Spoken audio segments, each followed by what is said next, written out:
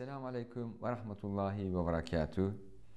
The rule of futuwa that I'll be sharing with you is as follows. من الفتوة استعمال مكارم الأخلاق إذ هي من أعمال أهل الجنة. You know, one of the rules of futuwa is practicing excellent moral qualities because this is the quality of people of paradise. And what are those excellent qualities of morality? This is answered by Rasulullah والسلام, in an hadith. So he said, إن مكارم الأخلاق من أعمال أهل الجنة. The excellent qualities of morality are practices of people of paradise. And he said, إن مكارم الأخلاق.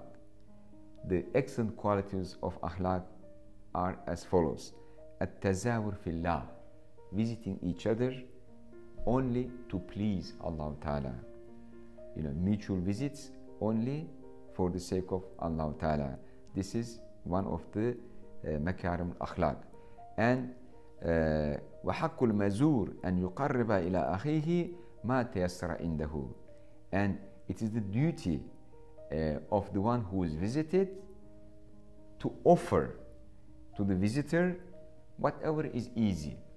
So when you have a guest, you have to offer something, whatever uh, you have, uh, even something uh, simple.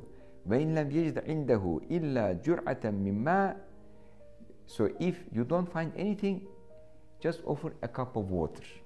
This is what Rasulullah ﷺ said. So don't leave your guest you know, without offering uh, anything.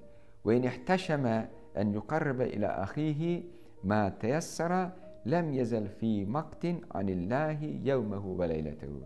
So if someone receives a visitor and does not offer anything, even a cup of water to the visitor, he remains under the wrath of Allah Ta'ala during that day and night. So this is a month of Ramadan. Uh, let's uh, remind ourselves, you know, to visit each other for the sake of Allah Ta'ala and also offer uh, whatever we can uh, to our uh, visitors. جزاكم الله خيرا والسلام عليكم ورحمة الله